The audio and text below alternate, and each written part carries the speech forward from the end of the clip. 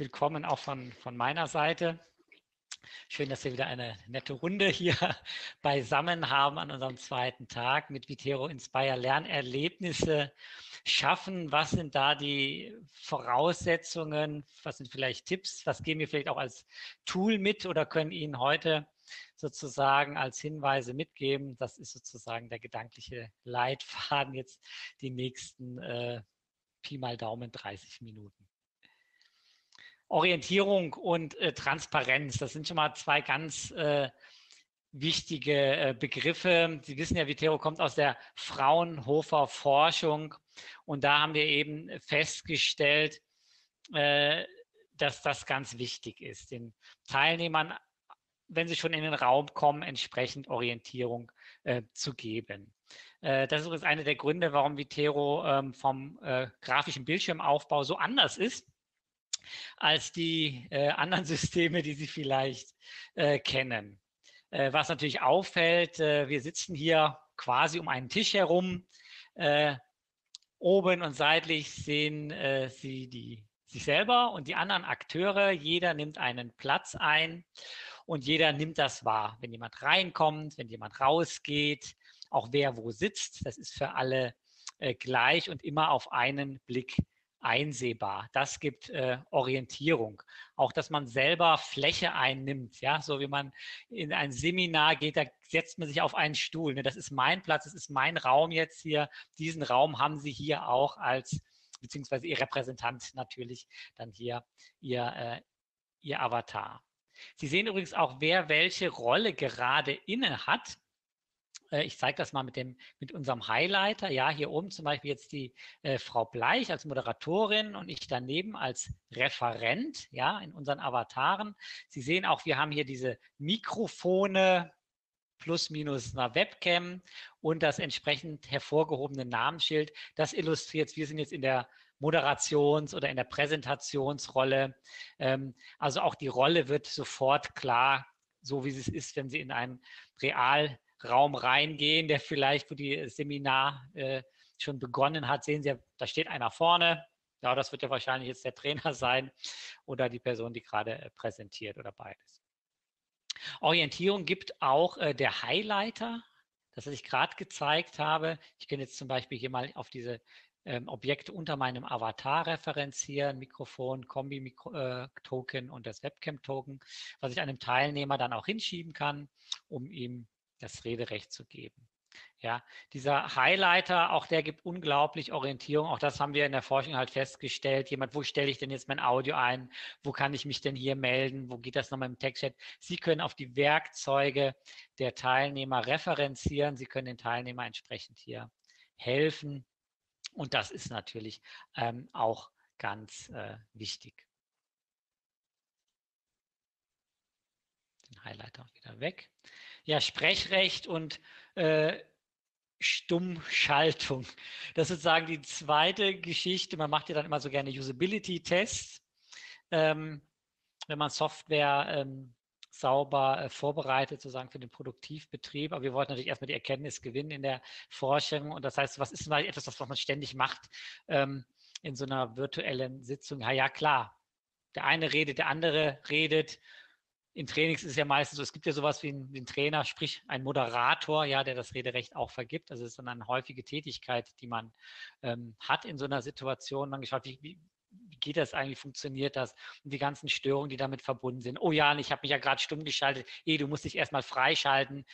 Hinterher räuspert aber zu viel. Ah, bitte schalte ich aber jetzt auch wieder stumm, sonst äh, stört das zu viel die anderen. Oder im Hintergrund Großraumbüro, all die Geschichten.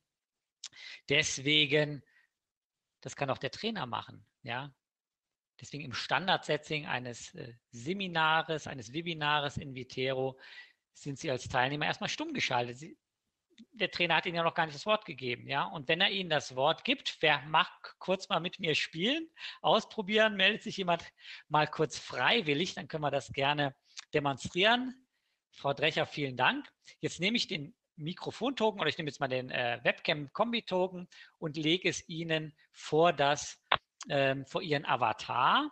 Und jetzt haben Sie das entsprechende Rederecht und wenn Sie den Dialog noch ähm, bestätigen, dann äh, das Webcam in der Mitte oder eben ja.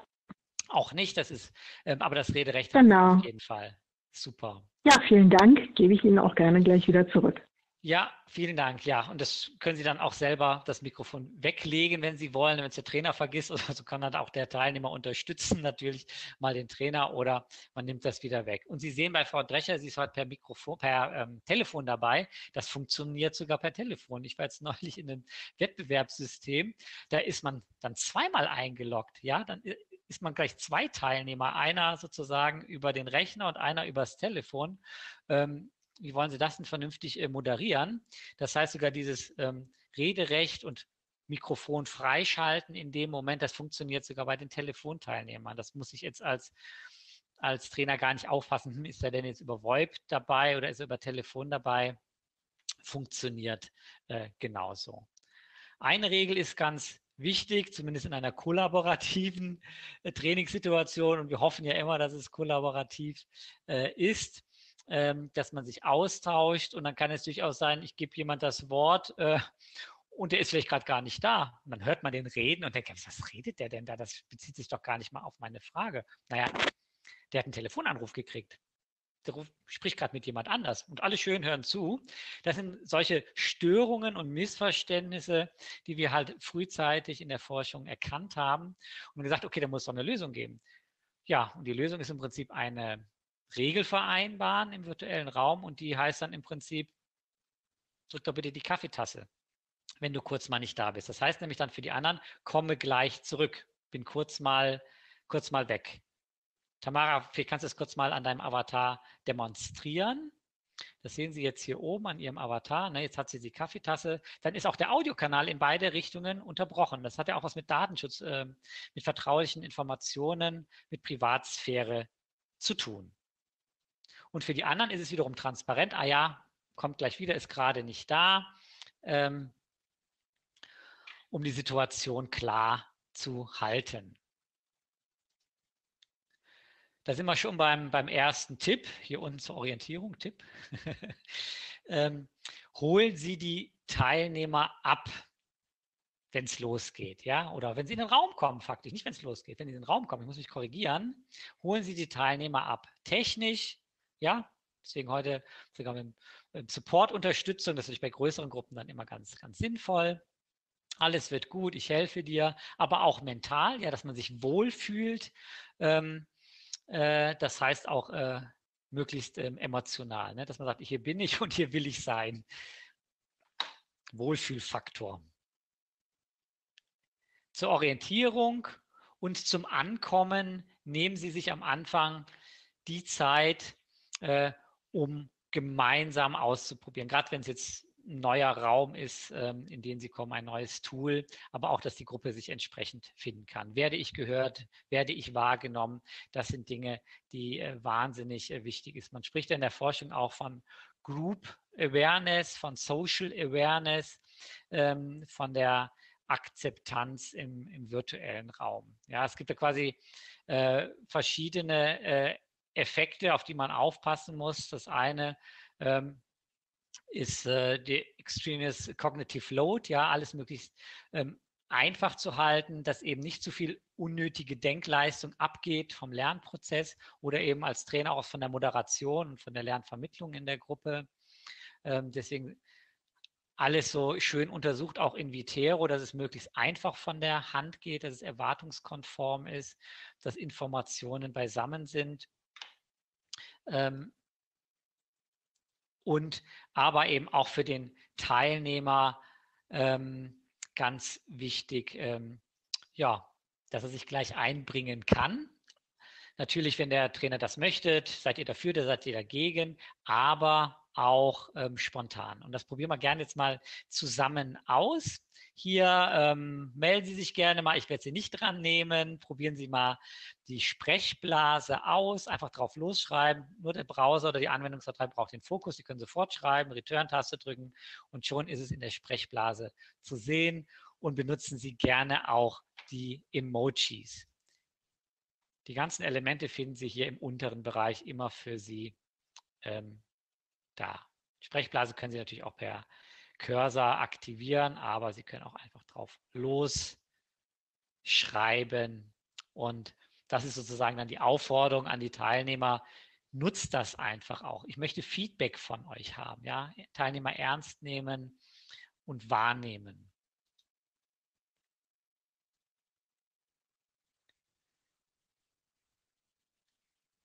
Ja, was, was ist wichtig? Extremes Cognitive Load hatte ich erwähnt, unnötige Denkleistung, zum Beispiel dadurch, dass wir diese Avatare benutzen, dass wir wichtige Informationen, die sich auf eine Person bezieht, gebündelt am Avatar zu sehen ist. Wie sieht er aus? Wie heißt er? Hat er gerade Rederecht?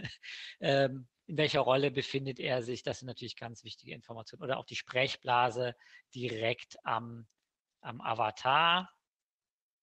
So, was er gerade aktuell sagt normalen Textset, wie Sie ihn von anderen Systemen kennen, gibt es natürlich auch hier im rechten Bereich, kann man natürlich auch entsprechend aufrufen. Ganz wichtig, uh, what you see is, is what I see. Ja, dass wirklich immer alle das äh, Gleiche sehen oder wenn es einen Unterschied gibt, wird das über ein entsprechendes ähm, Element dargestellt, wie beim Herrn Povoden beispielsweise, der jetzt eine andere Anwendung ähm, seinen Fokus hat, sehen Sie über, das, über diesen virtuellen Monitor hier oben. Ja, das kann ja durchaus sein. Man macht sich Notizen vielleicht und man sagt, lest mir ein PDF durch. Dann weiß man aber, ähm, wer gerade was sieht, wo der entsprechende Fokus ist. Ähm, und das alles möglichst angelehnt an der äh, Präsenz. Ja, hier nochmal als große Folie. Nehmen Sie Ihre Teilnehmer wahr, sprechen Sie nicht in ein, ein schwarzes Loch hinein. Und da hilft Ihnen natürlich auch Vitero. Sie schauen äh, auf die Gesichter, auf die Avatare der entsprechenden äh, Teilnehmer. Und umgekehrt involvieren Sie die Teilnehmer. Äh, warum ist das denn so wahnsinnig wichtig? Klar, das ist natürlich auch in der Präsenzseminar wichtig, im virtuellen Raum nochmal viel wichtiger. In der Forschung spricht man hier vom ähm, sogenannten Lurking-Phänomen. Das heißt, die Teilnehmer, die pennen mir sonst ein, ähm, dösen ein oder manchmal ist es ja nicht ganz so schlimm, wenn man jetzt nur äh, Folienvortrag macht und durch äh, Folien blättert und die Teilnehmer nicht beteiligt, dann riskieren sie aber natürlich, es werden nebenbei E-Mails gecheckt, es werden YouTube-Filme geschaut und all diese Dinge. Und das können sie verhindern und dann macht es auch den Teilnehmern viel mehr Spaß. Ja. Wir machen gleich mal ein Beispiel und da schließe ich jetzt mal meine Webcam und mich würde interessieren, wie groß sind denn die Lerngruppen typischerweise die Sie betreuen als Trainer oder die es äh, bei Ihnen im Unternehmen so gibt äh, oder wenn Sie ein Lernanbieter sind, ein Bildungsanbieter, die Sie so haben. Dazu suche ich jetzt mal ein Werkzeug hier aus. Das können wir mal mit der mit Klebepunkten machen und ich wähle die jetzt mal äh, personalisiert aus, einen Haken und jetzt haben Sie in der Mitte den Dialog, werden zu dem Werkzeug hingeführt und können dann diesen Haken links auf die Folie setzen.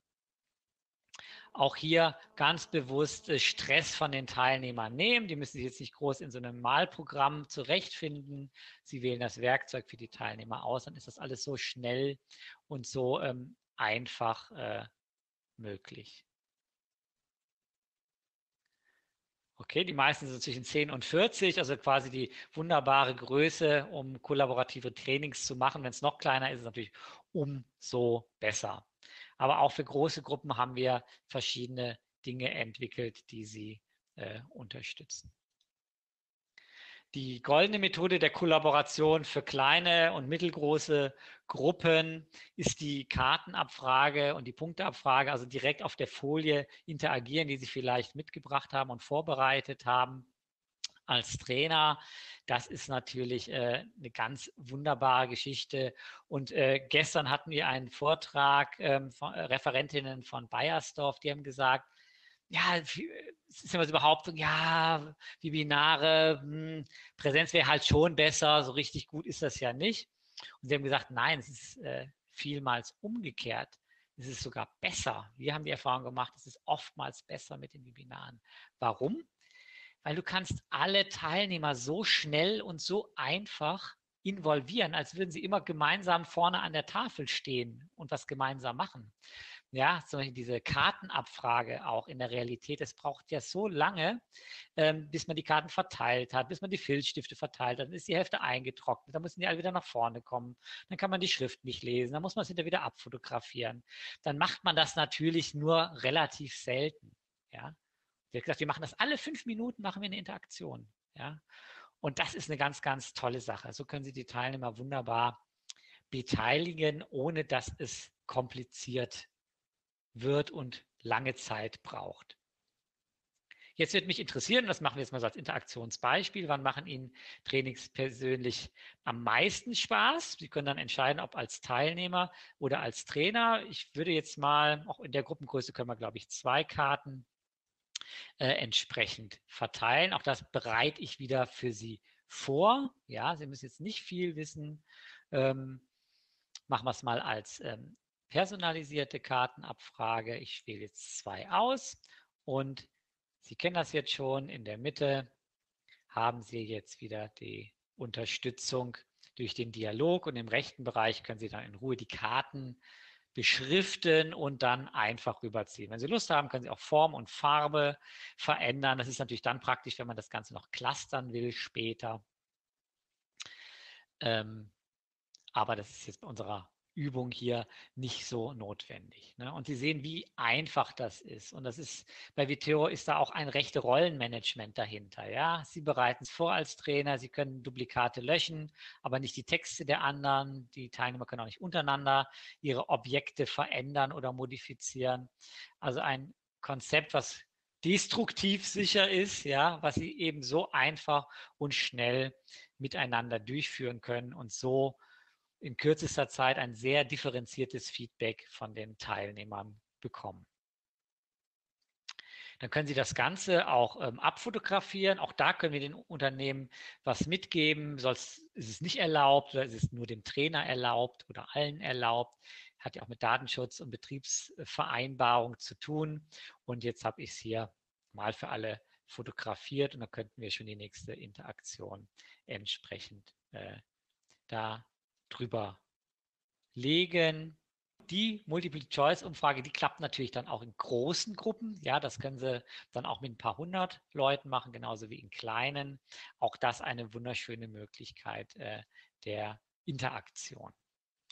Ähm, was wunderbar klappt, und das können Sie tatsächlich in nahezu allen Gruppengrößen machen. Man denkt immer, ja gut, in ganz großen Gruppen wird es dann auch schwierig. Wir hatten es aber hm, bei, der, bei Audi, die große Anders-Konferenz mit äh, über 100 Trainern. Dann gab es ein Plenum, wo alle zusammen waren. Dann haben die es aber verteilt in einzelne Arbeitsgruppen, Dinge erarbeitet und sind dann wieder zurück.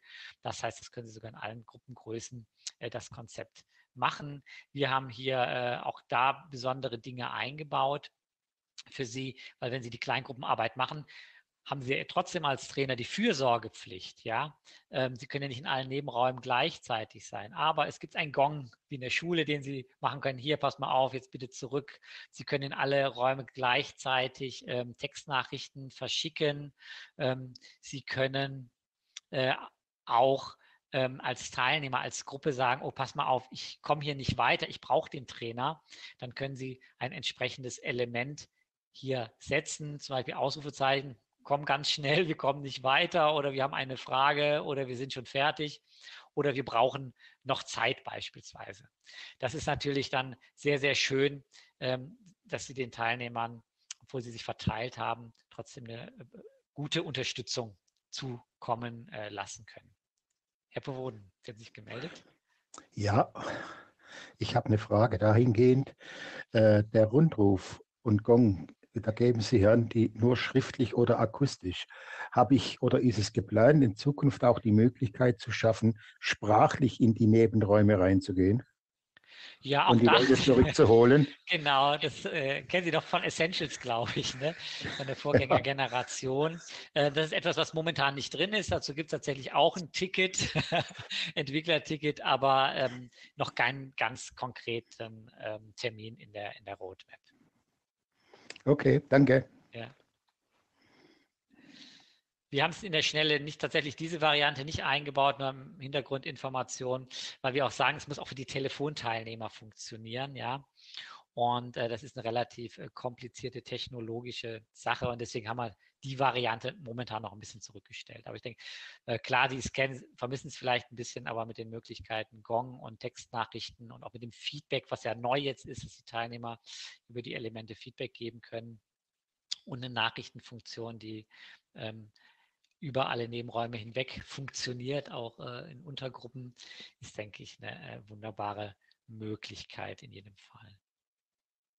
Ja, nutzen Sie verschiedene Medien, ja, ähm, Webcam haben wir am Anfang äh, genutzt, können Sie natürlich genauso nutzen, wenn Sie beispielsweise produzierendes Gewerbe sind. Ne? Also Audi, gerade das Beispiel nochmal dran angeknüpft, die natürlich dann oft ein Auto zeigen, wo gerade was repariert wird oder wo das neue Modell vorgestellt wird. Ähm, da macht das natürlich äh, Sinn, sehr viel das auch zu verwenden. Folien, wie wir es jetzt gemacht haben. Äh, Screensharing, um was zu ähm, zeigen, nicht nur für, für Software-Schulung, sondern ist natürlich auch für die, für die Interaktion sehr schön. In Vitero gibt es äh, die, die, virtuelle Maus, die Sie einem Teilnehmer vor den Avatar setzen können, dass er in Ihrer äh, äh, Software interagiert. Das ist natürlich etwas, äh, was wunderbar ist. Sie können mit ähm, Audiodateien arbeiten, nicht nur für den Sprachunterricht, sondern um die Sitzung auch mal aufzulockern, so wie wir es am Anfang beispielsweise gemacht haben. Ähm, oder Sie können mit, mit Videoclips arbeiten. Gerade die großen Unternehmen arbeiten natürlich, haben ja riesen Bibliotheken äh, mit, mit Videoclips. Das ist vielleicht etwas, was wir kurz zeigen können. Das können Sie vorbereiten, auch Ihren Trainern vorbereiten. Dann liegt das alles schon im, im Managementsystem im Hintergrund und Sie müssen es entsprechend nur ähm, noch ähm, auswählen, das entsprechende ähm, Element hier, äh, um beispielsweise etwas besser zu erläutern. Ich starte das mal, kurzes Beispiel. Ja, das ist zum Beispiel der Anzeigemodus, wo Sie ranzoomen können, also das, was Frau Bleich vorhin gezeigt hat. Ne? Sowas kann man dann eben auch schön über ein Video hier in der Mitte zeigen, synchron für alles. Also Sie können auch darüber was erklären. Ja, das äh, läuft dann zeitgleich bei allen ab. Das ist natürlich auch ein, eine schöne Möglichkeit dann für den Methodenwechsel. Erfolgsfaktoren, darauf kommt es an, ganz klar eine Wohlfühlatmosphäre erzeugen. Ja, also wir sagen, das ist der Job des, des Trainers, die Teilnehmer wahrnehmen, einbeziehen, helfen. Ja, man, man spricht da ja in der Forschung von Group Awareness, von Social Awareness.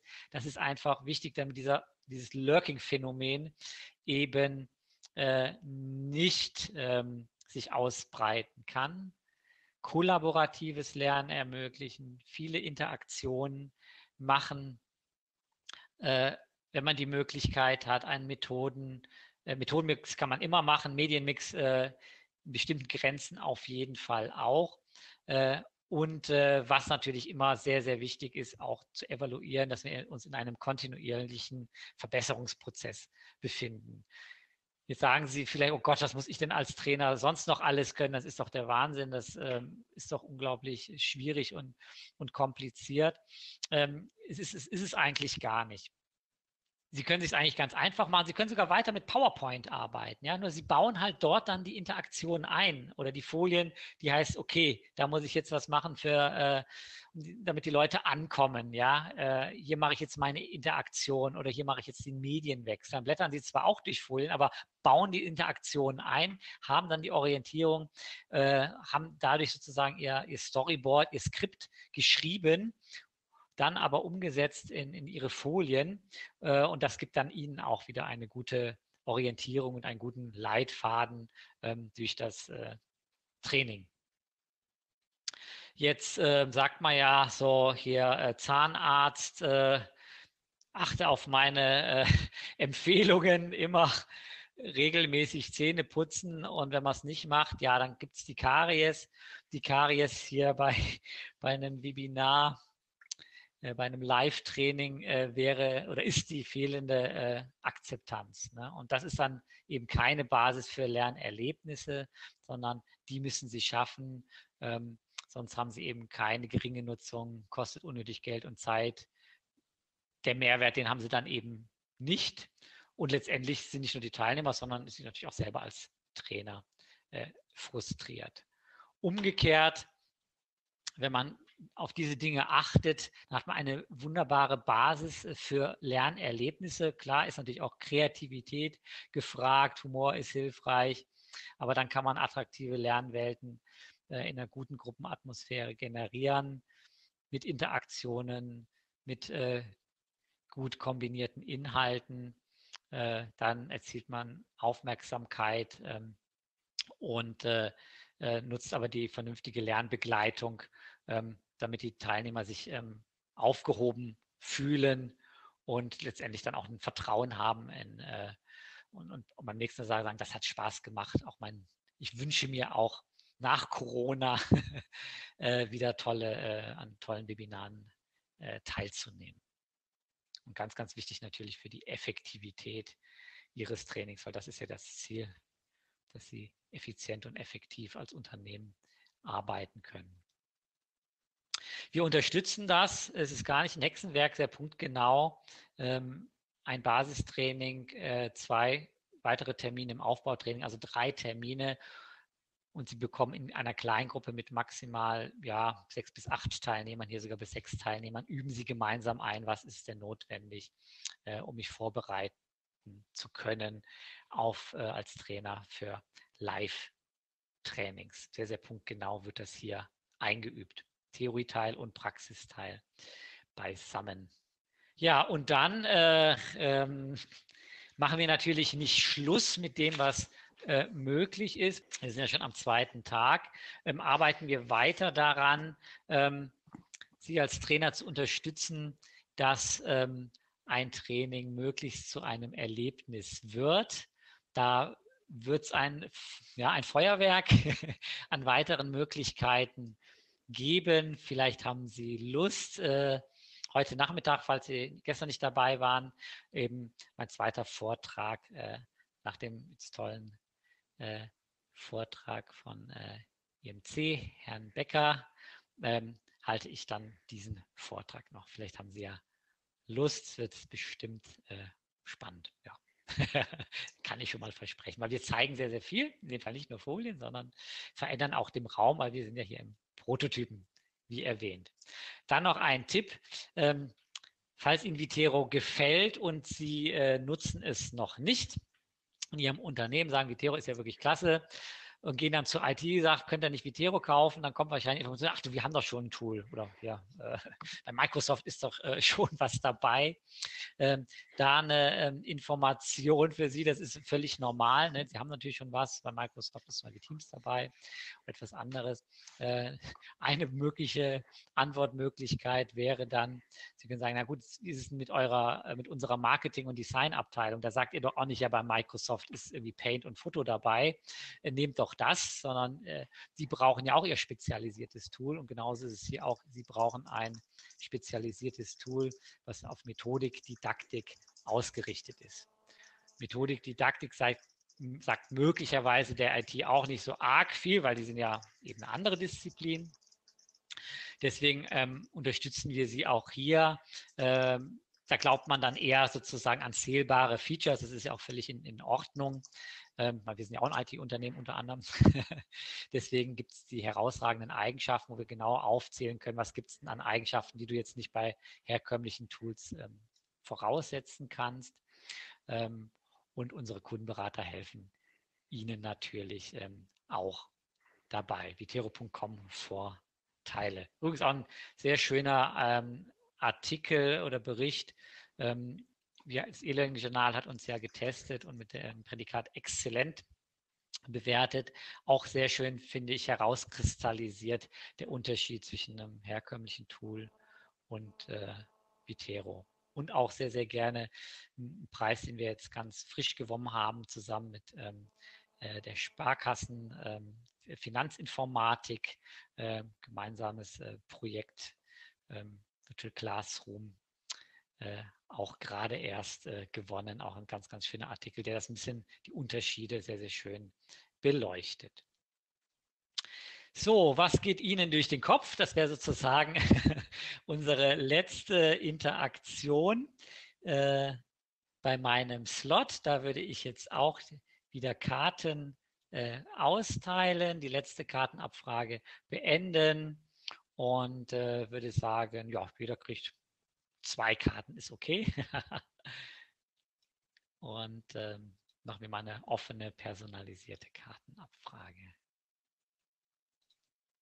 Sie kennen es jetzt schon, rechts haben Sie Ihre Karte, draufschreiben, rüberziehen. Das wäre zu sagen jetzt unsere Evaluation heute, das kleine Flashlight, um zu sehen, ähm, wie es Ihnen ergangen ist, was Sie vielleicht mitgenommen haben. Ja, Headset nutzen, ja, das ist, ne, man denkt, jedes Gerät hat doch jetzt auch ein Mikrofon eingebaut und Lautsprecher, muss, muss ich extra ein Headset haben, aber das ist tatsächlich auch, das wir empfehlen. Wir sagen, klar kannst du es auch ohne Headset machen mit nahezu allen Endgeräten, ist schon alles mit dabei, aber die Audioqualität äh, ist tatsächlich äh, besser. Es ist weniger ähm, stressig, weniger anstrengend, äh, wenn man mit Headsets arbeitet. Keine Lautstärkeunterschiede, ne? man ist auf dem Kopf auf und äh, die Abstände bleiben gleich. Ja, vielen Dank. Super Tool lese ich hier. Äh, das freut uns natürlich äh, sehr. Ja, dann ganz herzlichen Dank für das Feedback hier. Ja, dann sind wir bei der letzten Folie. Gibt es äh, noch Fragen? Die Frau Rotacker hatte schon eine Frage gestellt, auf, äh, auch auf die Feedback-Seite. Äh, und zwar fragt sie, wie geht man denn auf Datenschutzabfragen von TeilnehmerInnen ein? So, Kamera hier. Ja, Datenschutz ist natürlich ein wahnsinnig wichtiges Thema. Da haben wir sehr frühzeitig unsere Hausaufgaben gemacht und das Thema auch mit auf die LearnTech gebracht. Das ist ja hier sozusagen, jetzt heute treffen wir uns hier, weil die LearnTech zum zweiten Mal nicht im, im Januar statt oder Februar stattfinden konnte. Ähm, ein, unser persönlich ganz großes Anliegen schon immer gewesen, ähm, da unglaublich drauf aufzupassen. Deswegen äh, A, wir sind ein deutsches Unternehmen, die Server stehen in Deutschland, sind entsprechend ISO-zertifiziert. Ähm, und wir haben natürlich auch im Raum aufgepasst, dass man nicht aus Versehen an irgendwelche Daten kommt, äh, an die man nicht kommen soll. Ne? Kennen wir auch von Wettbewerbssystemen man nimmt ja oft dann gleich denselben Raum für die nächste Gruppe, dann sehen Sie noch den Textchat von der Gruppe davor, ja, sogar noch Wochen später, ne, obwohl Sie gar nicht dabei waren. Ne, das ist, kann bei uns gar nicht passieren. Textchat zum Beispiel nur das einsehbar, was auch ähm, äh, dann abgeschickt wurde, als Sie selber im Raum waren nur ein Beispiel zu nennen. Jetzt ist es natürlich bei Datenschutz und Personeninformation gibt es natürlich schon Unterschiede, wie es bewertet wird in den einzelnen Unternehmen. Deswegen kann man bei Vitero auch sehr viel äh, zentral für Ihren Mandanten in Vitero einstellen, wie Sie es haben wollen. Zum Beispiel, wer darf den Textchat rauskopieren? Niemand oder vielleicht der Trainer. Aus Betriebsgründen braucht er das zur Evaluation oder dürfen es vielleicht alle.